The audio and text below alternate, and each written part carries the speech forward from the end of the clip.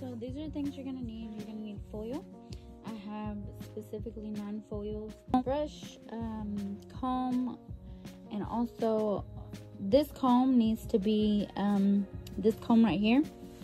You can get this type of comb at Sally's. Um, if you don't have a Sally's, you can get it at beauty supply store. Um, also, you're gonna need a small brush and a big brush. The small brush is to be able to apply the lightener, and then the big brush is gonna be for the um, whenever we're uh, doing the retouch. And it needs to be thick, it needs to be kind of hard, as you can see. This one, I would say kind of like in between, but it, it could be hard. That'll still work.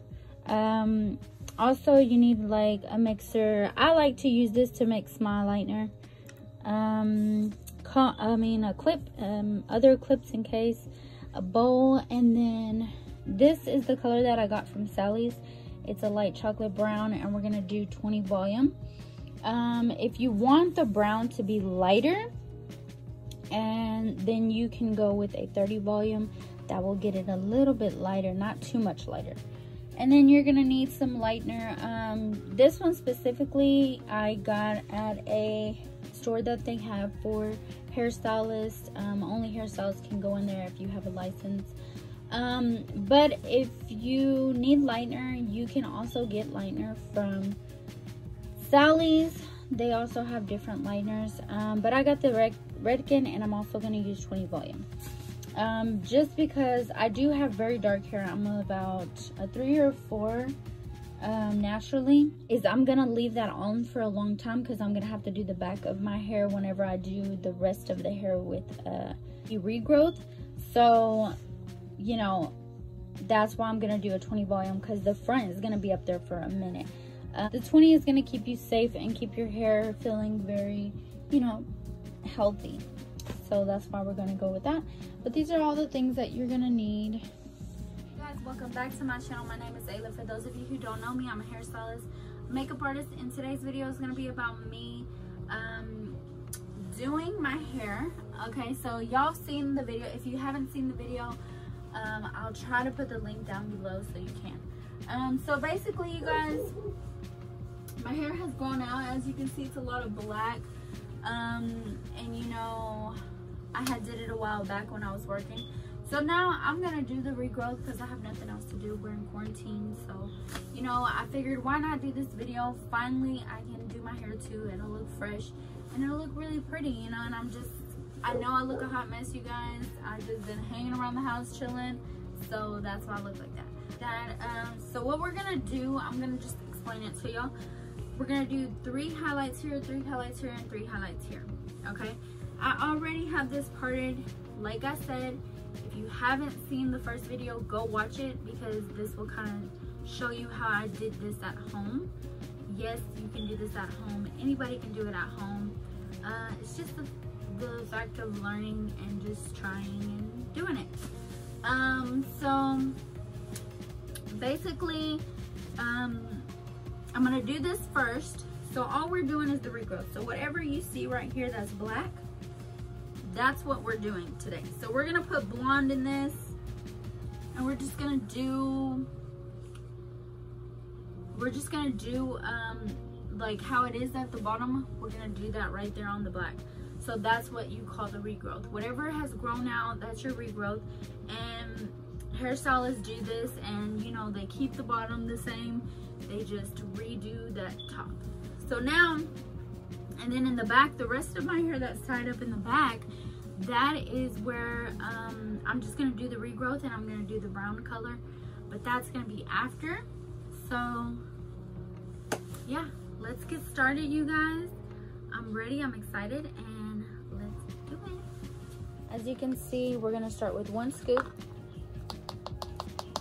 I like to start with one. Make sure you're in a good ventilated area just because and I usually go by eyeball whenever I want to add the developer. So this is what it's gonna look like. The reason why that I do that with the developer is because I just know how it's supposed to look whenever I mix it. You want it to be creamy. So it's a one-to-one -one ratio. Looks like this right now, but this is not how I want it. I need to get this right here in the middle. It's actually already parted basically. But we need to get this middle section and the rest away. But it looks pretty good so far. It looks like it's pretty much done.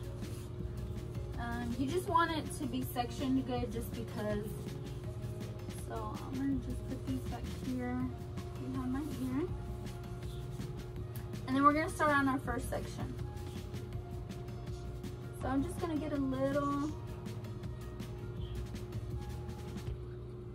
little section like that.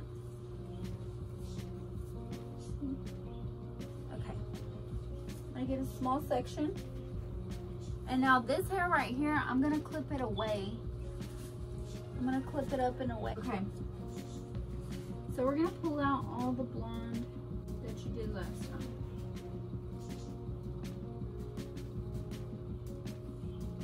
Okay.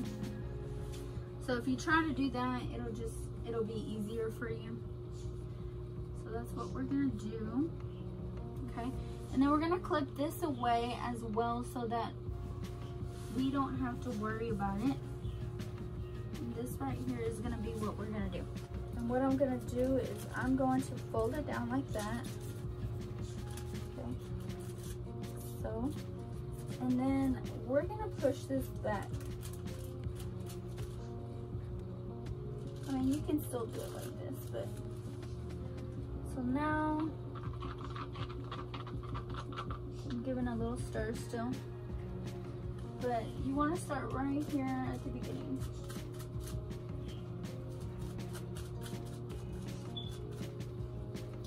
And then we're just going to kind of do a little bit of that.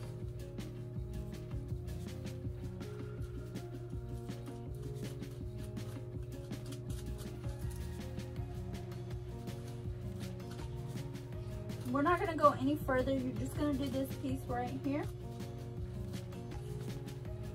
like that. You just, you do want to make sure that you did push push it through though. Make sure that I'm getting I'm getting that saturated really good. Okay.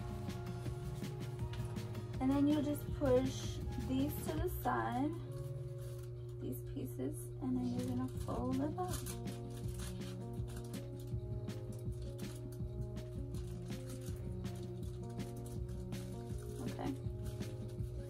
Like that.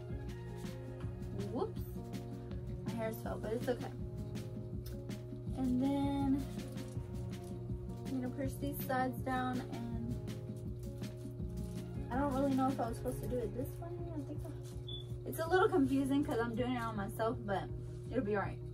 So that's your first foil, okay? And you're gonna just keep doing that all the way until you have three foils. So that was the first one right there. Okay, that was your first one. Let's just push that back. And then this is gonna be your second one.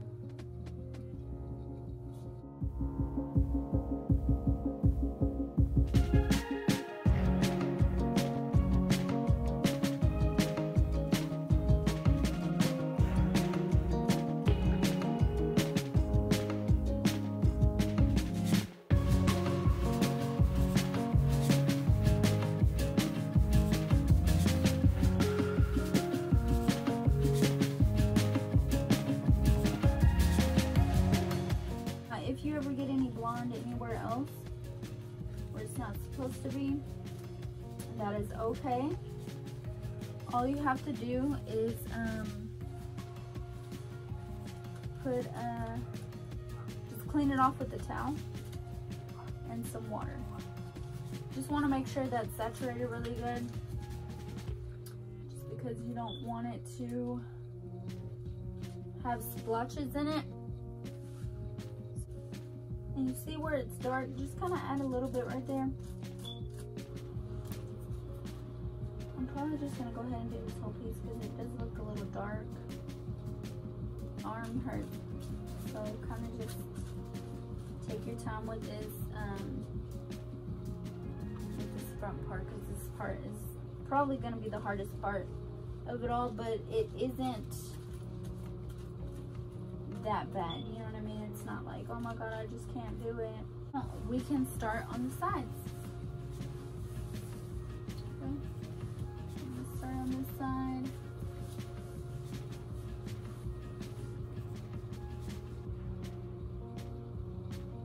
I would just try to get it as straight as possible as you can.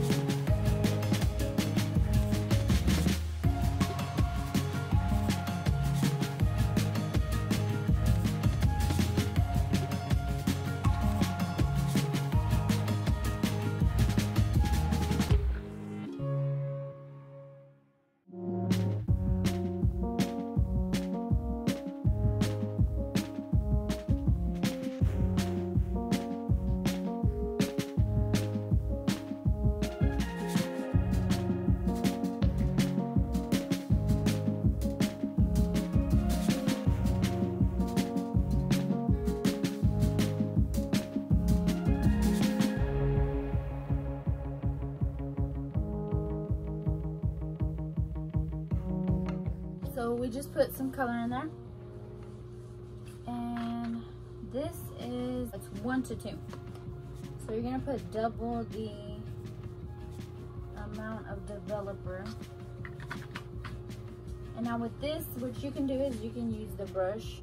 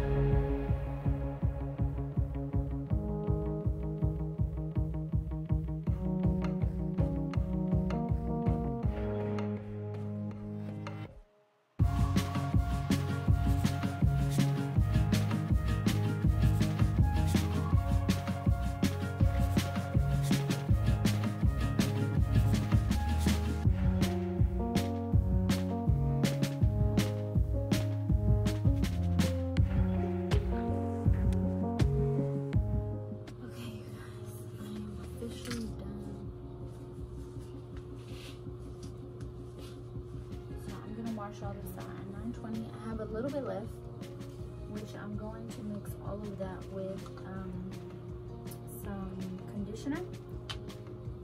That's how much I have left. It's pretty much, so. But I'm gonna mix that with conditioner and I will run it through the back at the end um, for maybe 15 minutes, I'll say. So 8.15,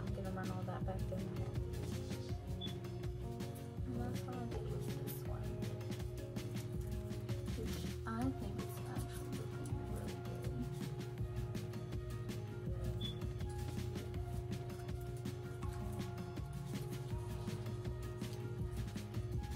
Yep, it's looking really good. So You can also get toner from Sally's. Um, during quarantine, you can't because Sally's is not open. I don't know about y'all's or whatever, but I got this from, you know, the store that I was telling y'all about um, for hairstylists only. Um, and these are two toners. This one's B and B. So V is like violet, and then B is for your blue. So this is gonna be a sterling silver. This is gonna be a platinum ice. So I'm gonna mix these two together, half and half, and then I'm also gonna put um, this in it. It's the gloss that you have to put in it. Um, it's kind of like a developer for the for the toner. It is one to one ratio, so I'm gonna put half and half of these two and then a one ounce of this. That this on for 20 minutes. Um, so I'm gonna try to dry my hair.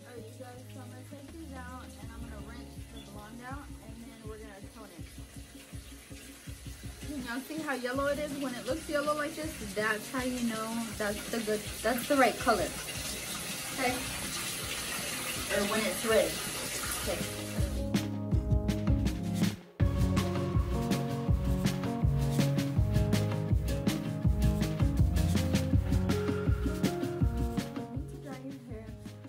Towel. Uh, don't rinse it. Make sure you rinse everything out really good. Um, as you can see, there's a little bit of orange, but that's from the brown color that got mixed in with the blonde. Now, don't be scared of that. If it looks too orange, go back whenever your hair's dry and just put a little bit of brown on it and it'll cover it up. But I, right now I'm just drying my hair really good with a towel. So just towel dry it really, really good. And then I already got the toner mixed up. Y'all already know what it's supposed to be mixed up, like how much. So you're gonna leave this on for 20 minutes or until you can see your hair turning a certain color. It should kind of look a little, little maybe grayish. But you're just gonna saturate that through. If you're only doing the part that I did, the highlight part in the front, you're not gonna need how much um, I told y'all to mix. You'll need half of that, unless you have long hair. Cause at the time, last time when I did this, I had longer hair. So my hair is really short now. Once I'm done with this, I'm gonna saturate the rest of my hair with the color that I had left. And I just mix shampoo in it. And I'm gonna leave that on for 15 minutes.